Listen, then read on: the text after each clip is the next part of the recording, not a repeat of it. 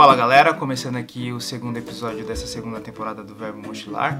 É, hoje, na verdade, eu vou fazer aquilo que eu tinha prometido no início do vídeo passado, do primeiro vídeo, que é apresentar oficialmente o Cristiano, ele que é o dono do hostel aqui, não somente do hostel aqui, mas também de outros dois espaços aqui na cidade de Delfim Moreira, dedicado a estar recebendo turistas e, e viajantes.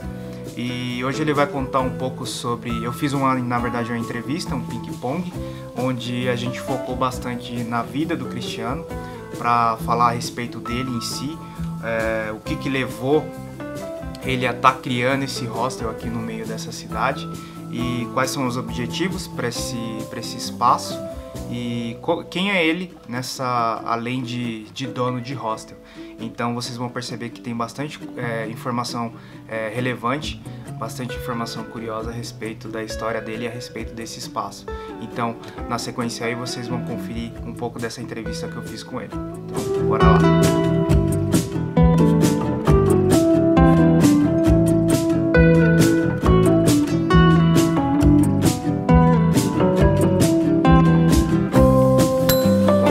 Conforme prometido, a Cristiano aqui está do meu lado. A gente vai fazer um bate-papo rápido aí para vocês, para vocês entenderem como que funciona aqui a estrutura do hostel, como que é, contar um pouco na verdade sobre a trajetória, a história do Cristiano e, e como que ele se instalou aqui na cidade e os objetivos e, e, ambições dele para o hostel, tanto aqui para a cidade de Delfim Moreira e para a galera que, que ele recebe aqui. Então, Cristiano, valeu pelo primeiramente por estar tá, é, conversando com a gente aqui do canal. E para começar esse bate-papo, eu queria que você falasse um pouco a seu respeito, é, quem que é o Cristiano é, dono de hostel e além de dono de hostel, é, o que, que, quem é você profissionalmente? É, então, Cristiano, estou com hostel aí há uns quatro anos. É, profissionalmente eu me formei em psicologia, trabalhei por um tempo, mas foram muitas experiências depois disso, né? Acabou que eu me desvinculei um pouco da psicologia e atualmente eu estou tentando voltar. Mas é, o, a questão principal aí que você perguntou em relação ao hostel, né? É quatro anos que a gente está nessa nesse trabalho e agora começamos a tomar um rumo diferente, né? Uhum. E acho que sobre isso a gente vai falar também no decorrer da, da entrevista. Legal. E uh, você é natural de qual, qual região? Então, eu sou de Goiânia, é, nasci em Goiânia, tô, mas estou aqui em Delfim já há uns 11 anos, desde 1900, 2009, aliás. 2009, é, já é um já é um tempinho já aqui, é, né? Já deu para conhecer bastante da cultura mineira, das, das pessoas, da comida, né? Que Falo uai perfeitamente. Já, a gente consegue entender tudo e também falar já bastante Legal. coisa. Legal. E me diz uma coisa, uh, quando, de onde que surgiu essa ideia de, de construir um hostel em Delfim Moreira? É, então, é, é desde quando eu cheguei a Delfim Moreira, tiveram alguns planos né, de trabalho. Eu vim, quando eu vim, eu vim direto da Estônia, estava morando lá, e porque uma parte da família já estava é, residindo aqui. E aí, assim, eu comecei com trabalhos diferentes, eu já tive um restaurante em Itajubá, trabalhei com construção civil lá também, uhum. e com transporte, entre outras coisas. E chegou o um momento que eu decidi fazer o que eu gosto de fazer, né? Eu trabalho com turismo porque para mim é uma das coisas que mais é, me chamaram a atenção durante a vida. Eu já, com 18 anos, já comecei a fazer minhas viagens, uhum. morei um tempo fora na, na Inglaterra, morei na Estônia, morei no Brasil em algumas partes diferentes também. E aqui eu resolvi é, conciliar o meu trabalho ao que eu gosto de fazer.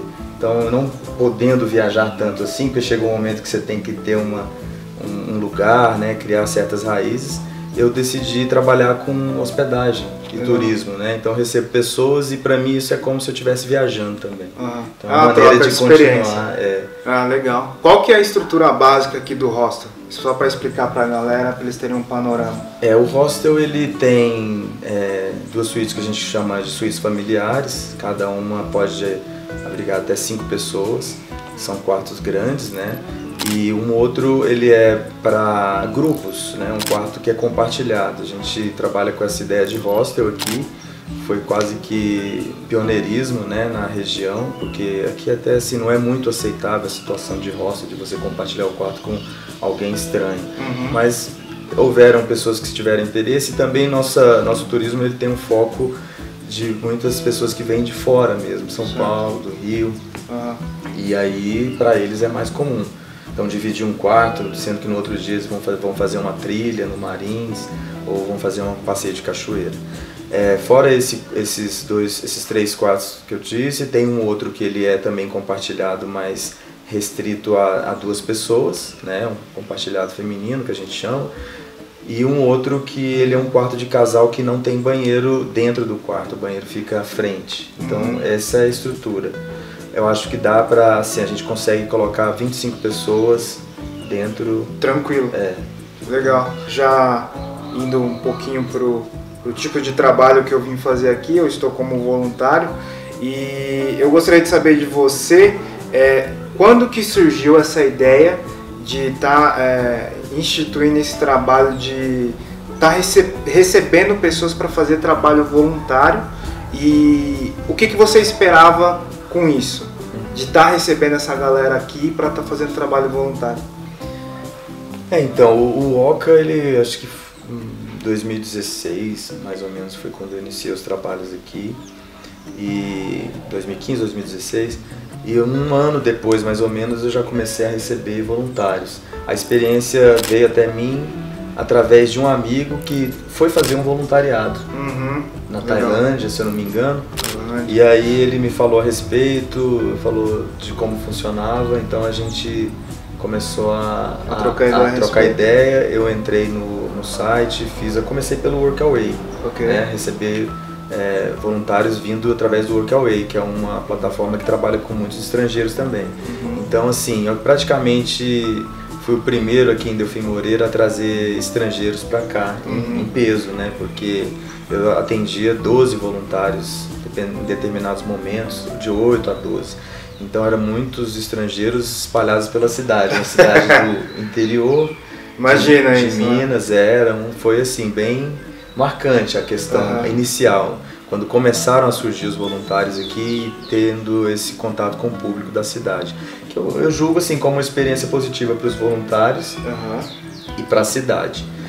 Assim, o que eu posso dizer em relação a esse trabalho, né? Você está aqui como voluntário e está fazendo um trabalho interessante de levantamento das, das coisas aqui na cidade e também ah, mostrando para para o canal o que, que acontece aqui dentro do OCA também. Uhum. Eu acredito assim que o, o voluntariado foi um ponto muito positivo, né, que eu tive a sorte de encontrar com essa possibilidade, porque é uma troca permanente. Eu recebo pessoas do Brasil, pessoas de fora e que trazem sempre alguma coisa nova para agregar ao- a nossos nos nossos caminhos, né? Não só no meu, mas em todos os outros voluntários que a gente compartilha juntos aqui um tempo.